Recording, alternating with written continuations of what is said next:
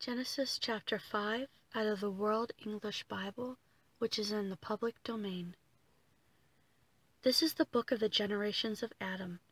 In the day that God created man, he made him in God's likeness. He created them male and female, and blessed them, and called their name Adam, in the day when they were created. Adam lived one hundred and thirty years and became the father of a son in his own likeness after his image, and named him Seth. The days of Adam after he became the father of Seth were eight hundred years, and he became the father of sons and daughters.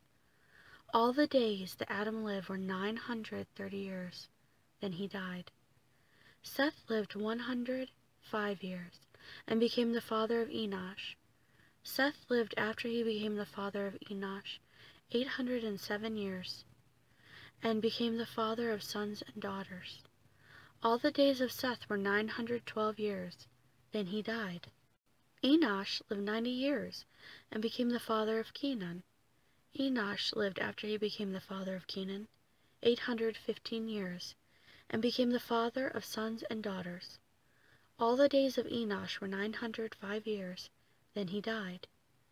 Kenan lived seventy years, and became the father of Mahalalel.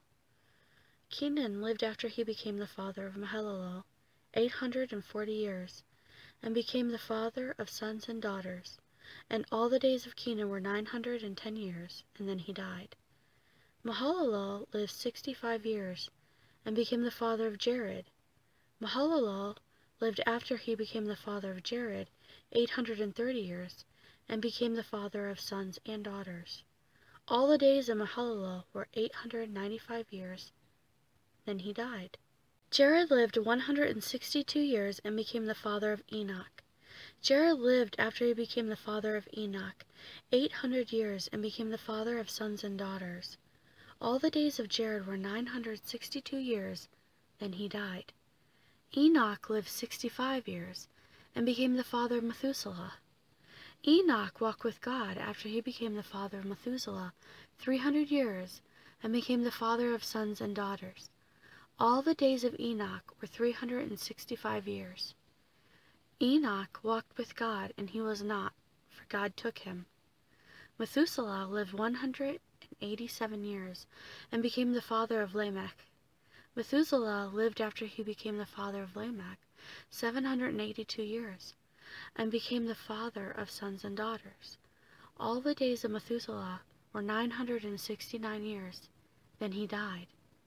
Lamech lived one hundred and eighty-two years, and became the father of a son, and he named him Noah, saying, This same will comfort us in our work and the toil of our hands, because of the ground which Yahweh has cursed. Lamech lived after he became the father of Noah five hundred and ninety-five years, and became the father of sons and daughters. All the days of Lamech were seven hundred and seventy-seven years. Then he died. Noah was five hundred years old, and Noah became the father of Shem, Ham, and Japheth.